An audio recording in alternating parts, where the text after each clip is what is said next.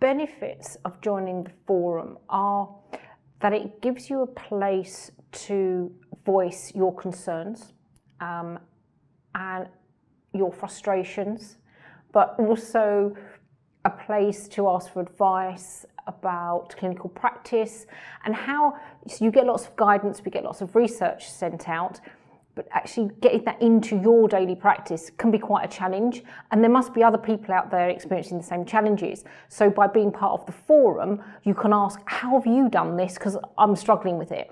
Um, and then it's quite nice to know that actually other people are having the same problems as you and you can share and all that kind of stuff. So you've got sort of sharing your concerns and your frustrations, but also your daily stories and the things that made you laugh out loud today, because there are lots of those things as well. Um, and I think it, just keeps you engaged so that you stay relevant and you're communicating with other people, but you're engaged with what's happening. And if you've got something that's really bugging you today, something that's really burning you, you really want to talk to somebody about it and share it, you can do that because the forum kind of lets you into the Facebook page and the Twitter. So start hashtag, you know, debate something on um, the Facebook page. That's great.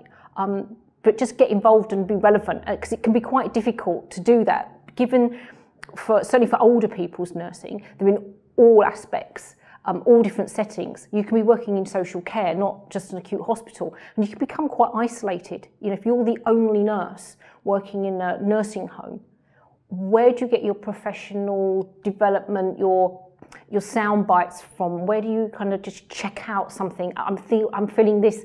Can I just check that out? Is that right? You're really on your own. So kind of my message: don't be. There's really no need we've spent the last two years trying to um, push awareness of delirium out in the community.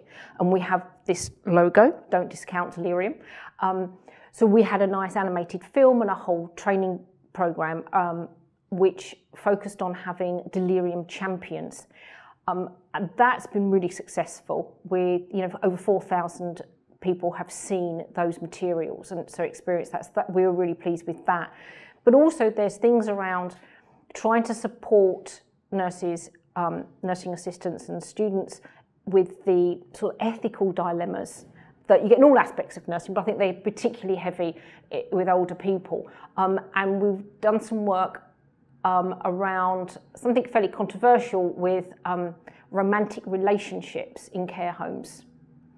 Um, so there's some guidance in that. So you've got the obvious clinical stuff like delirium, and then you've got these other ethical issues that just under that people are just struggling with, and there's really where do I go with that?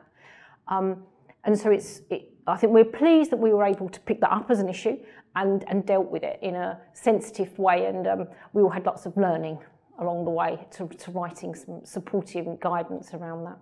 So our forum strategy is to engage with our members, to work with them to support their practice and their professional development, to work in areas where there are ethical dilemmas, um, to work with other organisations, and to support them with everything they need.